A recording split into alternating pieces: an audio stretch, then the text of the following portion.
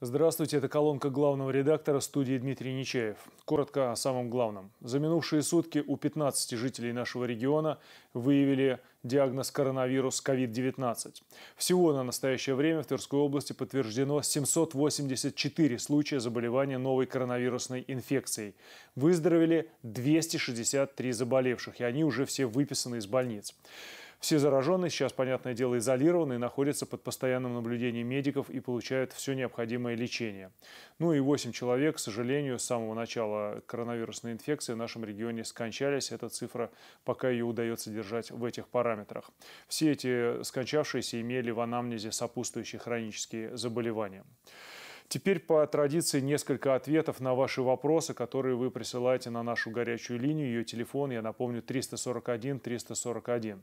Ну вот, знаете, изо дня в день многие из вас задают один и тот же вопрос – почему по Тверскому телевидению не сообщают о количестве заболевших в Твери и Тверской области. Ну, я не знаю, какое телевидение имели в виду позвонившие. Дело в том, что на нашем канале, в частности наша вот эта колонка, рубрика главного редактора, по-моему, всегда и начинается именно с этой информации, и сегодняшний выпуск не стал исключением.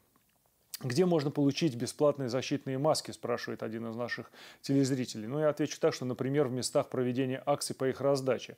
И об этих акциях также наш канал делал недавно сюжет, делал информацию. Ну и вот третий какой-то странный вопрос, это, наверное, вот как раз из э, сферы фейков.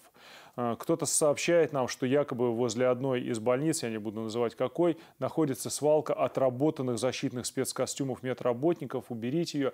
Но, вы знаете, мы не поленились, съездили, посмотрели, и, как и ожидалось, это оказалось ну, полной глупостью и ерундой. Никакой свалки там нет, все чисто, опрятно. А, а вот эта информация как раз из э, области фейков. Поэтому всегда фильтруйте, как говорится, ту информацию, которую вам кто-то сообщает, кто-то дает. Всегда, если есть возможность, проверяйте. А вообще лучше всего получайте ее из официальных источников, из тех, из которых ее берем мы. Поэтому я прошу всех, кто будет звонить на нашу горячую линию, оставлять свои контакты, номер телефона или электронной почты, либо контакт в соцсетях, чтобы мы могли уточнять информацию. Ну и напомню еще раз, э, наш телефон – это телефон горячей линии 341 341. Ну и теперь несколько слов кратко, но о самом главном. О главном для нашего народа празднике – Дне Победы.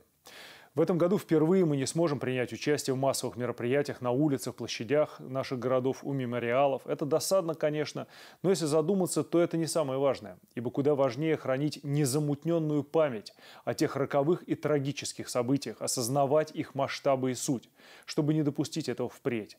Куда важнее проявить заботу и оказать внимание тем, уже, к сожалению, немногим ветеранам, в чьих глазах отражалось пламя той чудовищной войны.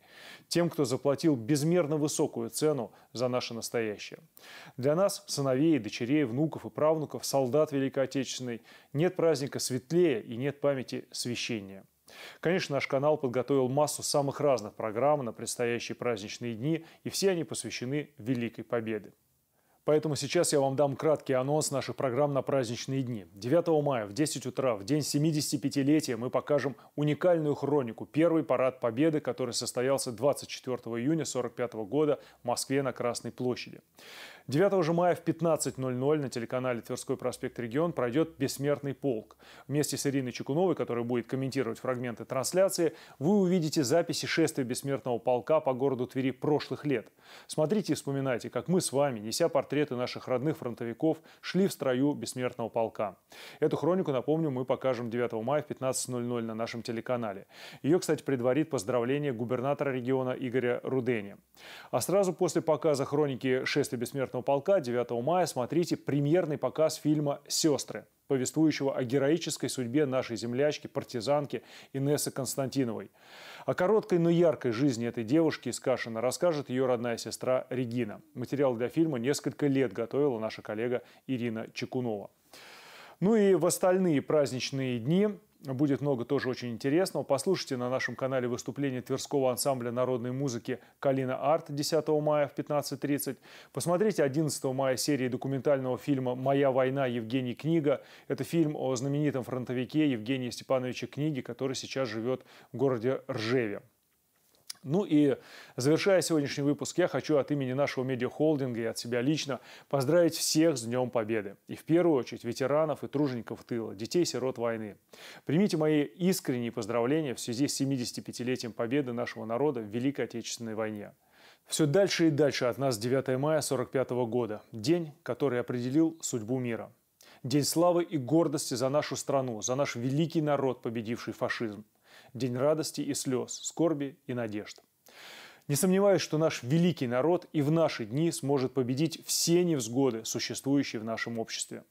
Мы обязательно должны это сделать в память о великом подвиге ветеранов и тружеников тыла. И обязательно это сделаем. Желаю всем крепкого здоровья, мира, благополучия и счастья. С Днем Великой Победы!